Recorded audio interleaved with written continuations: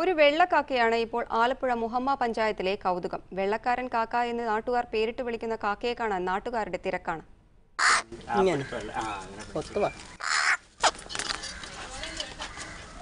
പതിമൂന്നാം വാർഡിലെ പുരുഷന്റെ വീട്ടിലാണ് കൗതുകമായി ഈ കാക്ക.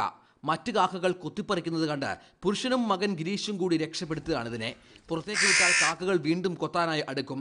ഇതോടെ കൂട്ടിനകത്താക്കി സംരക്ഷിക്കുകയാണ് പുരുഷന്റെ കുടുംബം ഈ വെള്ളക്കാക്കയെ. കാക്ക കൊത്തിക്കൊണ്ട് വന്നപ്പോഴത്തേക്ക് അതിനെ കാക്ക കൊത്തി കൊല്ലുകയല്ലേന്നോർത്ത് ഞങ്ങളിങ്ങനെ പിടിച്ച് കൂട്ടിലേക്ക് ഇട്ടതാണ്.